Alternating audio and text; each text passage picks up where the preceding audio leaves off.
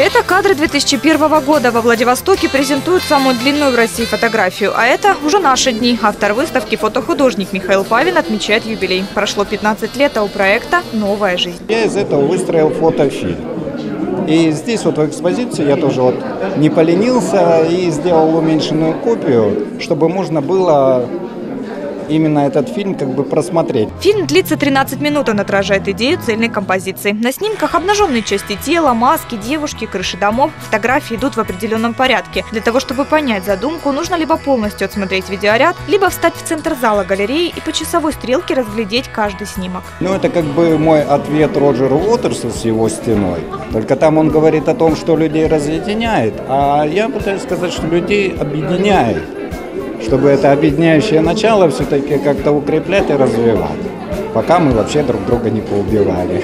Проект называется «Первое измерение». Черно-белая фотография зарегистрирована как национальный рекорд. Длина работы 66,5 метров. На воплощение задумки ушло около четырех месяцев. Михаил сам придумал технологию ручной печати и построил для этого специальный станок. Самое главное, может быть, и не фотография, и не юбилей, а феномен самого Миши Павина.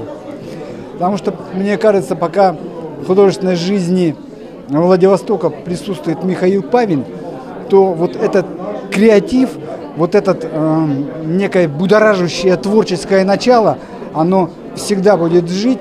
У Михаила за плечами более 60 выставок по всему миру. Первый вернисаж был на ледоколе адмирала Макарова еще в 83 году. Тогда его поддержали моряки. Сегодня весь Владивосток. Мы все гордимся тем, что вместе с нами такой рядом человек, он еще делал самую толстую фотографию, вы знаете, да, там что-то 6 сантиметров толщиной. Михаил Юрьевич, он всегда интересен, то есть, собственно говоря, он эксцентричен, ярок всегда, необычен.